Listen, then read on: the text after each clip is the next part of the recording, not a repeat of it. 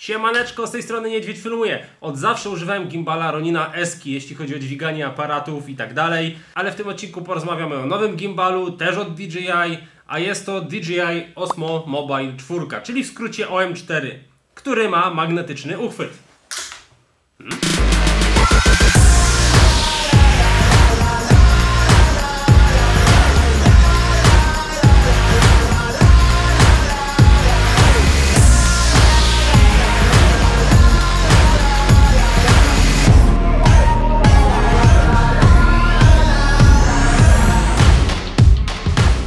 DJI Osmo Mobile 4. Od poprzedniej wersji na pewno różni się kolorem, jest ciutkę tam lżejszy, no ale najważniejsza to taka różnica, która naprawdę przeważa w kupnie yy, tej nowej wersji od tamtej, to jest właśnie mocowanie to tutaj na magnes. Montujemy sobie do telefonu taki uchwycik i zapinamy sobie telefon tutaj, przytrzymujemy i gimbal jest gotowy do nagrywania. W poziomie nagrywamy filmy, nie w pionie. W poziomie. Szanujmy się. Moc silników została zwiększona. Y, z tego co słyszałem, to na poprzednią wersję ludzie narzekali, jeśli chodzi o nie, że montowali tutaj y, inne obiektywy, sobie takie soczewki do smartfonów. No i ten gimbal nie dawał już rady. No i były te takie drgania, których nikt nie chce. Gimbal jest po to, żeby były płynne najazdy. Tutaj mamy mocowanie, do którego możemy dokupić sobie takie ciężarki. I no i montując sobie tutaj tą soczewkę, ten szeroki kąt taki, mamy tak naprawdę fajnie wyważony tutaj telefon. Jeśli chodzi o ten zestaw, jest to Redmi Note 8 y, Pro.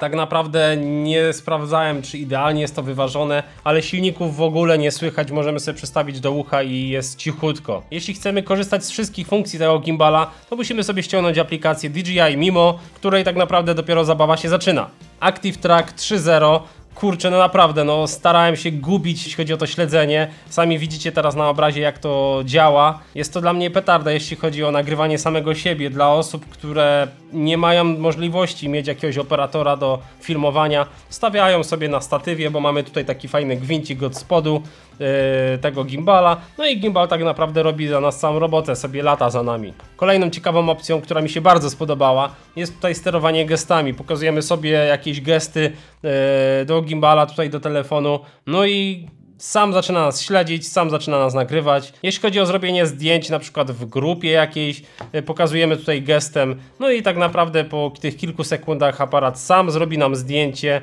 i nie musimy podchodzić, nie musimy szybko podbiegać do tej grupy, chować się tam i zawsze to zdjęcie wychodziło takie w pośpiechu. Tutaj pokazujemy gestem. Magia! Kolejną ciekawą funkcją jest spin roll, czyli to taka funkcja, gdzie nagrywamy sobie idąc na przykład do przodu, że ten horyzont nam tak yy, wali się na lewą, na prawą stronę, zależy jak sobie tam ustawimy. Bardzo fajnie nam tam uzupełni te ujęcia, żeby coś innego się jednak pojawiło. E, no ale no to jest kwestia tego, do czego kto co potrzebuje. Kolejnymi funkcjami, z których bardzo warto korzystać są tutaj timelapsy, yy, czyli zdjęcia poklatkowe. Mamy dodatkowo hyperlapsy, czyli to są już takie zdjęcia poklatkowe, ale w ruchu. Fajnie dodają dynamizmu, jeśli chodzi o filmy. Dobra, ale przejdźmy do konkretów. Pójdźmy w teren, zobaczcie jak to wygląda. Żeby nie było za łatwo, damy tego gimbala mojej 9-letniej córce, która tak naprawdę raz tylko nagrywała gimbalem, ale tym dużym Roninem E, gdzie ledwo go dźwigała. Damy jej tego gimbala ze smartfonem. Będzie to test nagrany przez amatorkę, która nigdy nie trzymała gimbala tego typu. Sami zobaczycie jak to wygląda, jak wygląda stabilizacja obrazu. W smartfonie nie będziemy używać żadnej stabilizacji, tak więc wszystko co będzie wystabilizowane to będzie właśnie zrobione przez tego gimbala, no i przez nią, nie? Sami zobaczcie.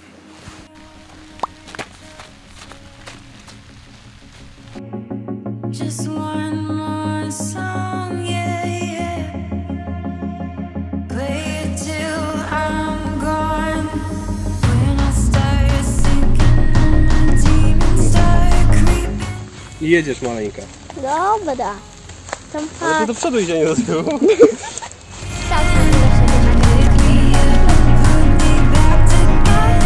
I dzisiaj ja nagrywam, tata mnie tam nagrywa, a ja idę. Jakby. To jest pierwszy raz mój, więc mu, nie mówię, że jestem w tym zła, ale jest git na razie. Przynajmniej na razie. Pokaż mu gest.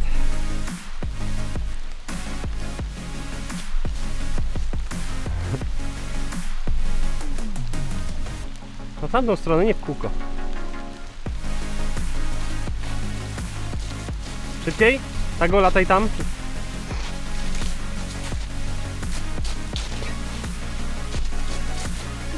Zgubił się.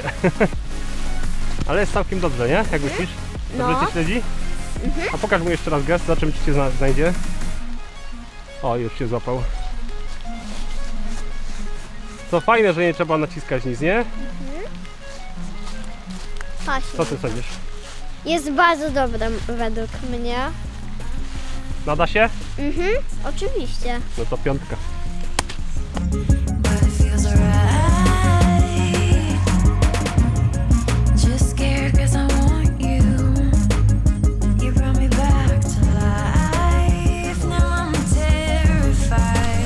Dzień dobry. Zobaczcie sami, jak to wygląda. No i jest spoko. No i jak widzicie, Magda nagrywa z zero jakichś tam dziwnych ruchów, tak więc y, tak to wygląda, jeśli chodzi o stabilizację przez osobę, która nigdy nie trzymała gimbala w rękach. Ja, to jest za ciężkie.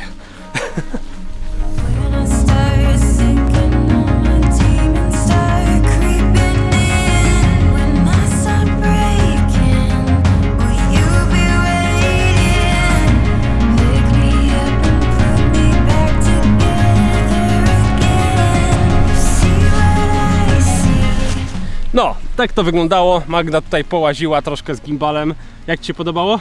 Bardzo i jak nagrywałam telefonem, no to bardzo drgało, a to stabilizuje, więc na pewno lepsze niż moja komórka sama.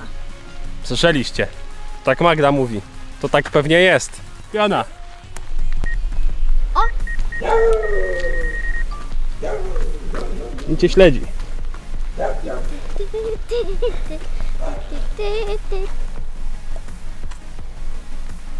No i teraz cię śledzi.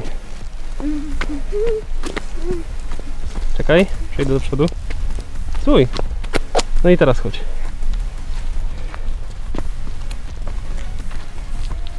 Tak to wygląda. Ja nic nie ruszam gimbalem, żeby nie było. A Mandzie sam śledzi. O.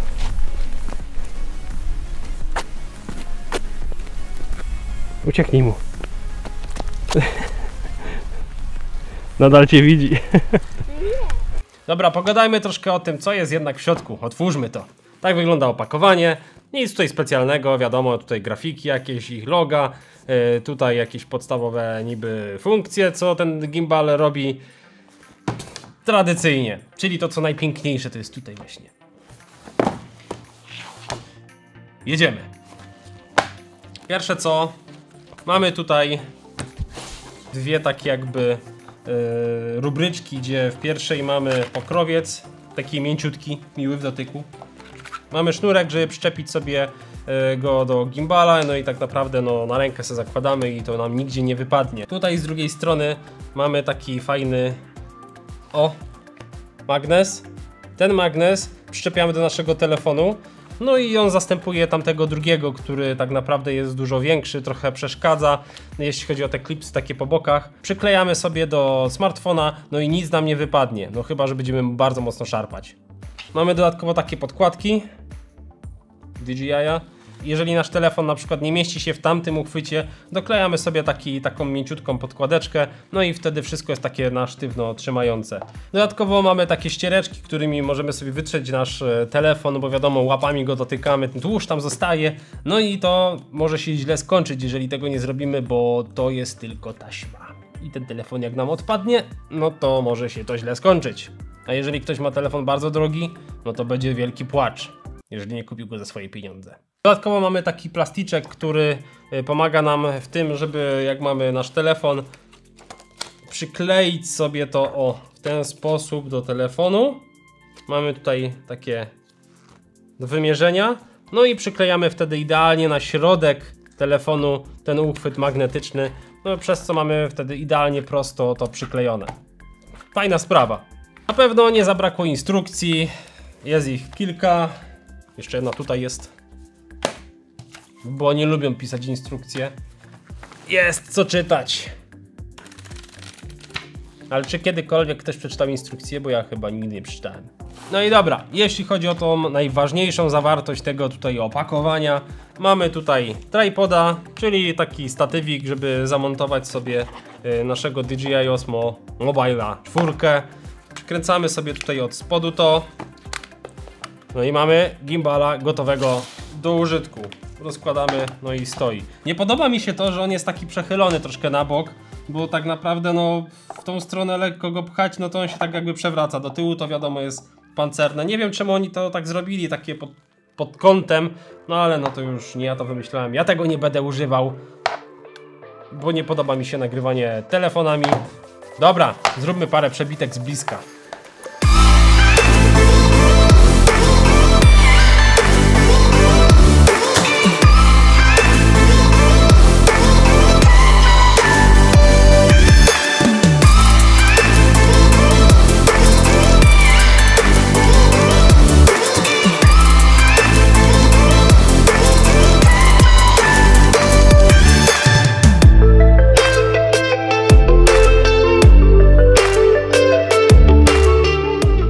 O aplikację, no to tak naprawdę ten gimbal sam się łączy z naszym telefonem, wystarczy tylko mieć uruchomione Wi-Fi, y, sam wykrywa, sam się łączy, naciskamy tylko, że połącz, no i tak to wygląda.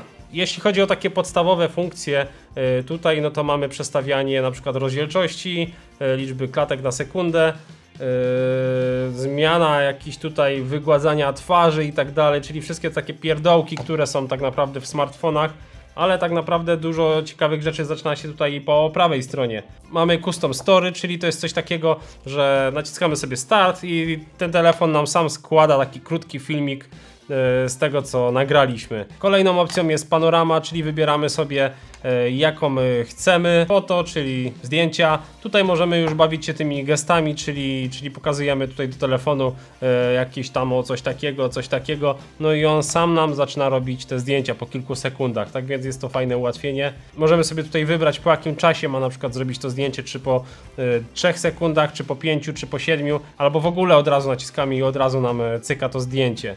E, Wiadomo, jest to wygładzanie twarzy tutaj po lewej stronie. Mamy tutaj wideo, czyli jeszcze zmiana rozdzielczości, e, jaką chcemy tutaj mieć na filmie. E, Ilość klatek na sekundę. Mamy tutaj Dynamic Zoom, jest to bardzo ciekawy efekt, taki jakby przybliżającego albo oddalającego się tła względem pierwszego planu.